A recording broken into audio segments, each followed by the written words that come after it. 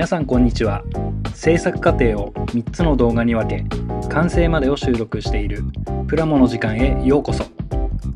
今回の動画は富士見のクラウン通称オリンクラの完成までをお届けいたします。早速まずはクリア塗装から。クリア塗装の工程は全部で3回。使用しているエアブラシはタミヤのスプレーワーク HG エアブラシワイドで塗料はクレオスのスーパークリアー3を外野カラー薄め液で1対1.5に薄めて吹き付けています。塗装工程1工程目は少し遠目から塗料をボディ表面に対してふわっとのせるように吹き付け。2工程目は角部分から始め全体をまんべんなく塗装していき2工程目と3工程目の間に2000番のペーパーヤスリで表面を整え3工程目は仕上げで全体を塗料が垂れる寸前を目安に吹き付けていきます。万が一垂れてしまった場合はイソプロピルアルコールで塗装を落としやり直したりリカバーに時間を取られるなど悲惨なことになりますので慎重に塗装を行っていきます。次に取り出しを行っていきます。クリア塗装後十分に乾燥させた塗装面は一見ツヤがあるように見えますが塗装面にはまだまだ凹凸が存在しています。この凹凸を消していく工程です。徐々にペーパーヤスリの番手を上げながら滑らかな面にしていくので前のクリア塗装工程では逆算をし厚めに塗装をしています。取り出し工程としては3回の工程。1工程目は2000番のペーパーヤスリで水取りをしていきます。艶が出ているクリア塗装面の艶を消していく感覚で水取り。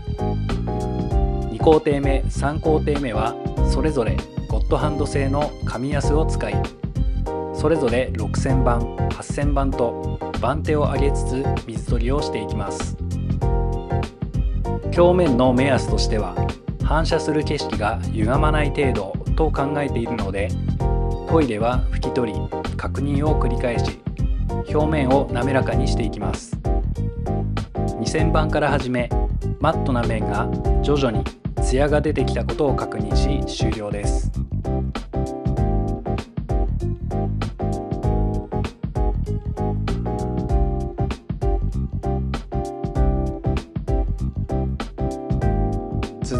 鏡面仕上げの工程です。表面仕上げの工程としては3つの工程となります。ドレメルというメーカーのミニルーターに筋彫り銅のバフを取り付け作業を行っています。1工程目はタミヤコンパウンドの粗めで1周。表面を一皮むくといった感覚で研磨していきます。1工程目で粗めのコンパウンドでは傷を消すことはできませんので2工程目3工程目につなぐ感覚で少しずつ傷を消しながらツヤを出していきます。2工程目はタミヤの再目で1周。3工程目はタミヤの仕上げ目で限りなく傷がなくなるよう意識しながら研磨していきます。万が一途中で角が出てしまったら慌てず残しておいたボディカラーなりでタッチアップ。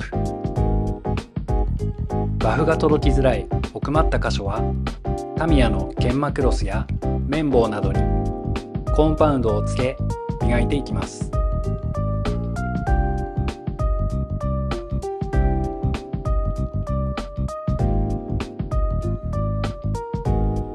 続いてマスキングと塗装です。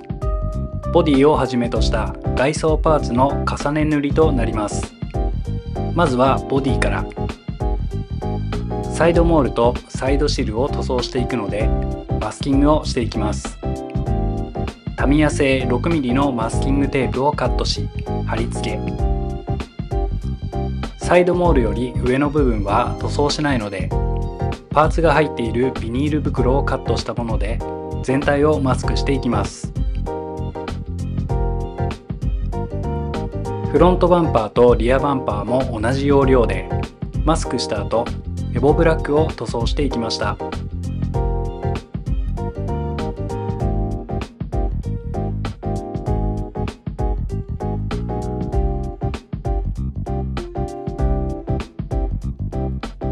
次にメッキモールの塗装です。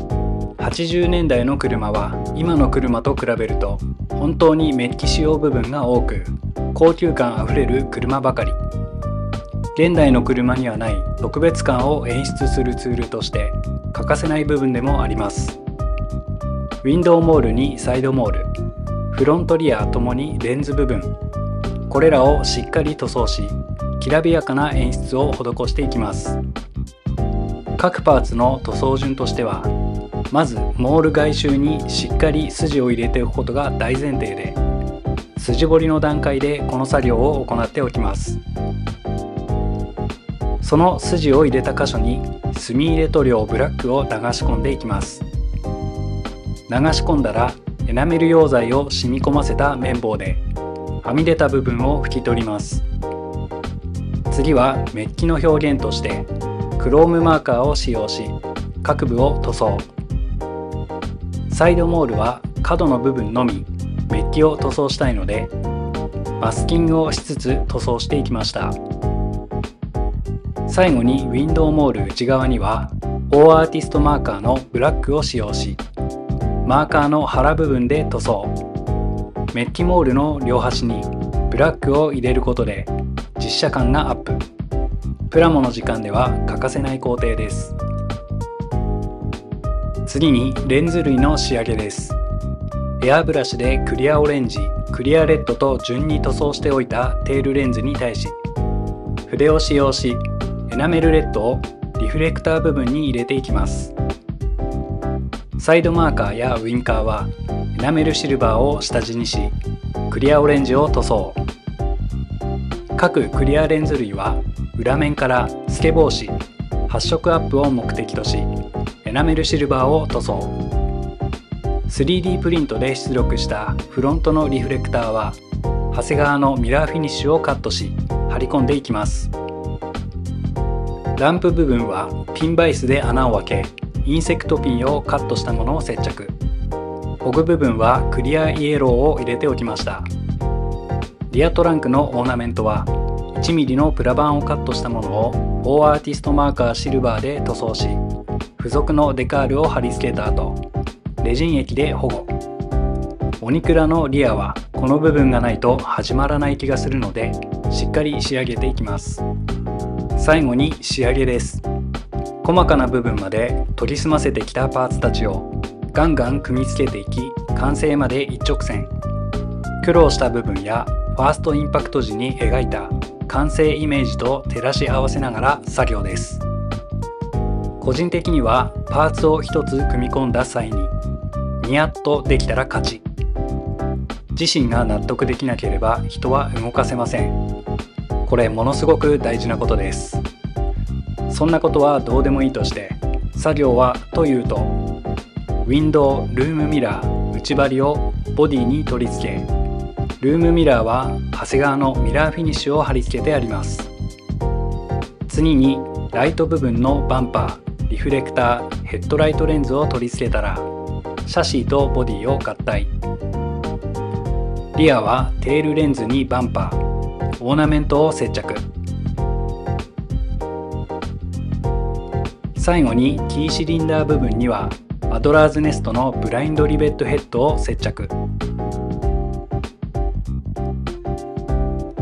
コーナーマーカーには下地にシルバーで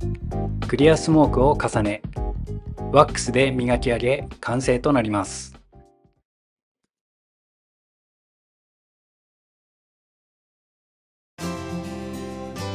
このキットの第一印象はプロポーションは最高なのでヘッドライトをしっかり作り込める技術があればかっこいいものが出来上がると思っていました。3D プリンターで作り込める技術を身につけたのでやっと自信を持って作ることができた一品です。ヘッドライトリフレクターにホイールにタイヤ。インテリアでは当時流行していたスピーカーにシートベルトバックルこれらは全て 3D 出力によるもの。オニクラをまじまじ見ると 3D プリンターを本当に買ってよかったとしみじみ思えてきます。シートにはこれも当時の定番であるハーフのレースシートカバーを再現。パート2で制作過程を紹介しているのでぜひご覧ください。完成したオニクラのイメージとしては